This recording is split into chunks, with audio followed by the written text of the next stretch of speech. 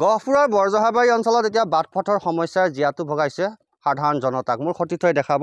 মই বাকৰি দলনিৰ পৰা বৰজহাবাৰী অঞ্চললৈ প্ৰৱেশ কৰা। এইটো এটা গ্ৰাম্য পথ আৰু এই পথটোত বহুখিনি আচলতে গাঁত হৈ গৈছে।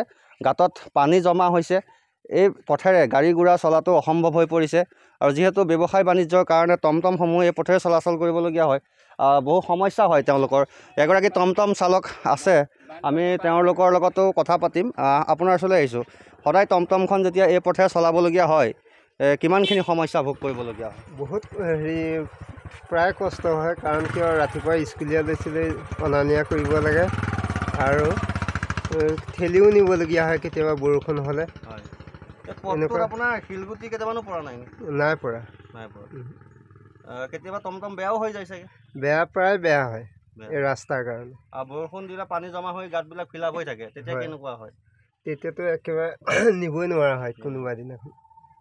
ভাগিছে নে? ভাগে ক'ৰবাত চাগে নট বলটো ক'ৰবাত এৰাই যায় চাগে তেনেকুৱা এৰাই হয়। এৰাই হয়।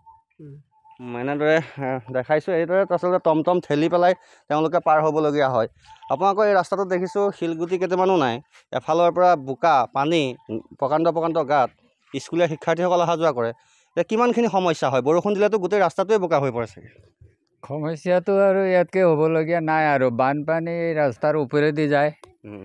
যিটো সিদিনাৰ বানপানী এই ৰাস্তাৰ ওপৰত এক ফুট পানী হৈছিলে। এতিয়া পথটোৰ অৱস্থা কেনেকুৱা? পথৰ অৱস্থাটো এই গাঁত গোটেই গাঁতে গাঁত আছে আৰু গাড়ী চলাব নোৱাৰে আৰু চাইকেল চলাব নোৱাৰে। স্কুলীয়া ল'ৰা ছোৱালী স্কুললৈ যাওঁতে বহুত সমস্যা হৈ যায়। এই পথটো এতিয়া কেঁচাই হৈ আছে। কেঁচা কেঁচা বিলকুল কেঁচা আৰু ইয়াত কেঁচা বুলি কওঁ আৰু তাতকৈ কেঁচা নহয় আৰু। এতিয়া এই খাপৰি বা পিছৰ একো ব্যৱস্থা কৰা নাই নেকি বিভাগে?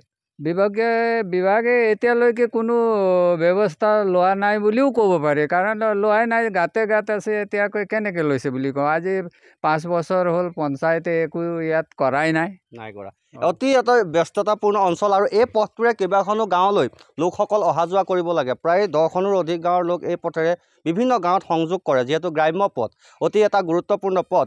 কিন্তু শিলগুটি কেইটামানো আজিৰ দিনলৈকে নপৰিল যাৰ ফলত বহু সমস্যা ভোগ কৰি এতিয়া এই অঞ্চলবাসীয়ে যাতায়াত অব্যাহত ৰাখিবলগীয়া হৈছে।